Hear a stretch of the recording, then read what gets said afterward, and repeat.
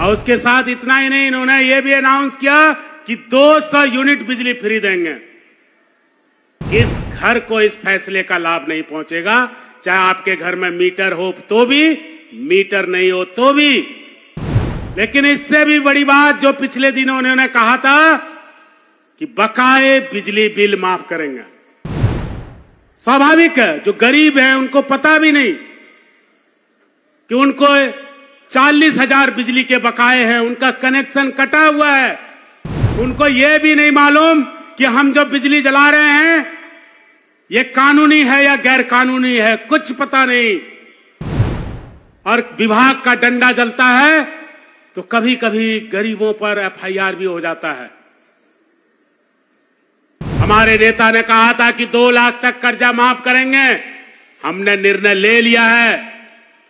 Corona से पहले जब विषम परिस्थिति था, उस समय भी हमने मुँह नहीं मोड़ा किसानों से और तब पचास हज़ार तक के स्टैंडिंग लोन माफ़ किए थे। और अब दो लाख तक के स्टैंडिंग लोन और एनपीए उसका भी माफ़ी का माननीय मुख्यमंत्री जी के निर्देश पर निर्णय हमने ले लिया है। काजी कवायद चालू है। और धनबाद जिला के सभी आवाम को यहाँ पर इस कार्यक्रम को सफल बनाने में पिछले एक सप्ताह से लगे हुए सभी पदाधिकारियों को, पुलिस विभाग के, जिला प्रशासन के और सभी साथियों को सरकार की ओर से, हमारी ओर से हार्दिक जोहार, नंदन, वंदन, अभिनंदन। सीएम साहब को सुनना है। रोज की सुबह जब आप अखबार को देखें। माफ़ कीजिएगा इलेक्ट्रॉनिक प्रिंट सोशल मीडिया के सभी साथीगण, रोज सुबह आपका भी हार्दिक अभिनंदन है। जब आप अखबार को देखें या फिर चंपई दा को किसी ज़िले या फिर प्रोजेक्ट भवन में मीटिंग करते समय देखें तो इस राज्य की तीन करोड़ चालीस लाख जनता को इंतज़ार होता है। कि हेमंत सोरेन जी ने, महागठबंधन ने यहाँ की जनता ने जो ज़िम्मेदारी चंपई दा को दिया है, वो यहाँ के जनता के लिए क्या करने वाले हैं? कभी कभी हमें भी नहीं मालूम होता यह अपने दिल से बड़ी लकीर खींचते हुए नज़र आते हैं। मैं अपने विभाग की बात बाद में करूँगा। अब भी जो 25 साल से ऊपर सभी बहनों को, बेटी को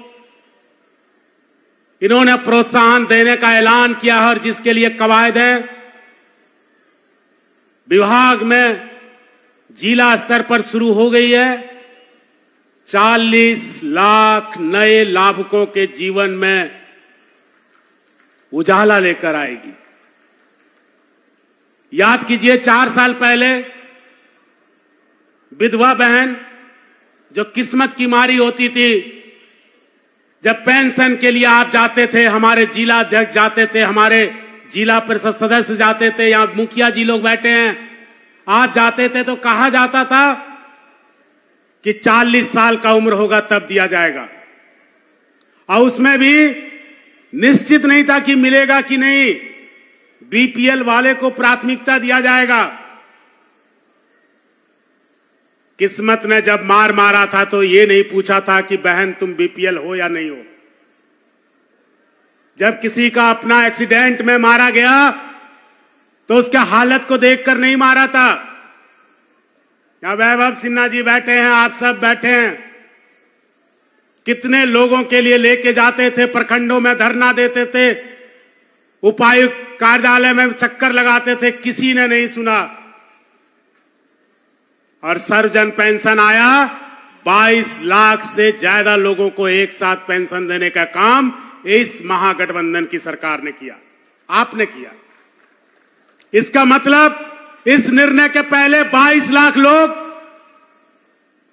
इस राज्य के सभी प्रखंडों में, पंचायतों में, उपायुक्त कार्यालयों में, मंत्री जी के दफ्तरों में, मुख्यमंत्री जी के कार्यालय में चक्कर लगा रहे थे।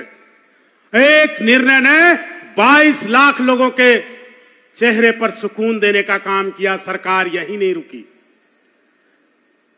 फिर हेमंत सोरेन साहब मोहराबादी से ऐतिहासिक अनाउंस किए कि 50 साल से ऊपर महिलाओं को भी हम सर्वजन पेंशन में शामिल करेंगे और S C S T categories में पुरुषों को भी देंगे।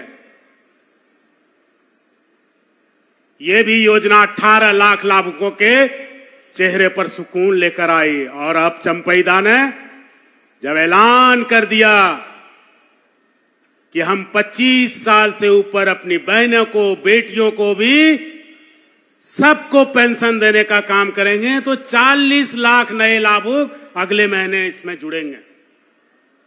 बोलिए, किसके घर में इस फैसले का लाभ नहीं पहुंचेगा? सबके घर में पहुंचेगा। हर घर में पहुंचेगा। और उसके साथ इतना ही नहीं, इन्होंने ये भी अनाउंस किया कि 200 यूनिट बिजली फ्री देंगे। किस घर को इस फैसले का लाभ नहीं पहुंचेगा? चाहे आपके घर में मीटर हो तो भी, मीटर नहीं हो तो भी। लेकिन इससे भी बड़ी बात जो पिछले दिनों उन्होंने कहा था कि बकाए बिजली बिल माफ़ करेंगे। स्वाभाविक है, जो गरीब है उनको पता भी नहीं कि उनको चालीस हज़ार बिजली के बकाए हैं, उनका कनेक्शन कटा हुआ है। उनको यह भी नहीं मालूम कि हम जो बिजली जला रहे हैं, ये कानूनी है या गैर कानूनी है, कुछ पता नहीं। और विभाग का डंडा जलता है तो कभी कभी गरीबों पर एफआईआर भी हो जाता है। और उनको 200 यूनिट बिजली का लाभ तभी मिलेगा जब पिछले बकाए जिस पर चक्रवृद्धि ब्याज बनता है वो माफ़ होगा, नहीं तो उन्हें पता ही नहीं चलता कि माफ़ है या नहीं है। यह सच है कि आज के दिन में जो भी बिजली जला रहा है ग्रामीण इलाके में, शहरी इलाके में 200 यूनिट तक वो फ्री का लाभ ले रहा है। और इसमें लाखों 30 लाख से ज़्यादा लाभुक लाभ ले रहे हैं। पता नहीं ज़ुबान पे बात आती है या नहीं, लेकिन ये सरकार तो काम कर रही है। ये सरकार सबके लिए कर रही है कोई भेदभाव नहीं कर रही। हमारे नेता ने कहा था कि दो लाख तक कर्जा माफ़ करेंगे। हमने निर्णय ले लिया है। कोरोना से पहले जब विषम परिस्थिति था, उस समय भी हमने मुँह नहीं मोड़ा किसानों से और तब पचास हज़ार तक के स्टैंडिंग लोन माफ़ किए थे। और अब दो लाख तक के स्टैंडिंग लोन और एनपीए उसका भी माफ़ी का माननीय मुख्यमंत्री जी के निर्देश पर निर्णय हमने ले लिया है। काजी कवायद चालू है। ये सारे फैसले आम आदमी को सुकून देते हैं। आम आदमी के जीवन में बदलाव लाता है। माननीय मुख्यमंत्री जी, यहाँ जो आज लगभग 400 करोड़ रुपयों का शिलान्यास, उद्घाटन, परिसंपत्ति वितरण और एक दो नहीं, कई तो आए हैं, कई घर में। तेईस हज़ार लाभुकों को सीधे फ़ायदा पहुँचाने का यह आज का कार्यक्रम है, जो माननीय मुख्यमंत्री जी के निर्देश पर हुआ है।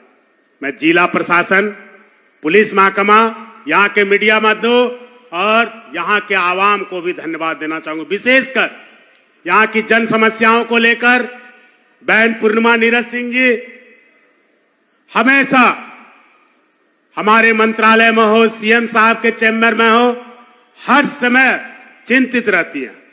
अभी मंच पर बैठे थे, आरएसपी कॉलेज की बात सीएम सर से कर रहे थे। मथुरा बाबू, किसानों के प्रति, यहाँ के लोगों के प्रति हमेशा संवेदनशील रहते हैं।